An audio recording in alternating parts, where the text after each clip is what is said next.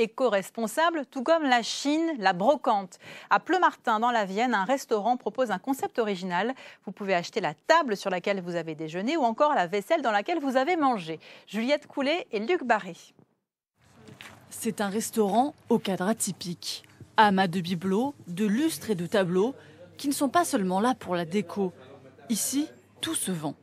Tout, la table, les chaises, euh, les verres, euh, bougeoir, tout, tout, tout en fait. Alexandre Roux est brocanteur. Ici, il a trouvé la recette pour vendre ses biens différemment. Une fois, on a eu une marchande qui allait ouvrir un magasin en Nouvelle-Zélande et elle avait pris euh, je ne sais pas combien de choses. À la fin du repas, elle nous a pris ça, ça, ça, ça, ça, ça. Il fallait tout refaire. Il fallait refaire toute la déco.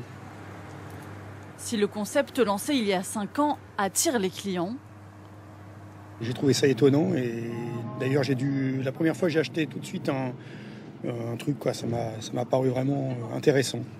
C'est la cuisine qui les fait revenir. Bah, c'est bien, c'est un bon concept. Hein, euh, la brocante et puis le restaurant, oui. Surtout que c'est un bon restaurant en plus. Derrière les fourneaux, Zouer Bouchan revisite des plats franco-marocains. Ancien prof d'arabe, ce cuisinier autodidacte a soulevé ici sa passion. Quand j'ai eu mon bac, en 1997, je voulais faire l'école écolière, ben, sauf pour les parents, c'était pas, c'était à l'époque, c'était pas un métier bien, bien vu, quoi. Donc à 39 ans, j'ai fait la, la veille de mes 40 ans, j'ai fait la crise de quarantaine, donc j'ai changé tout. Les deux amis sont seuls à assurer le service du mercredi au dimanche pour une clientèle fidèle. À Pleumartin, c'est l'un des deux derniers restaurants du village.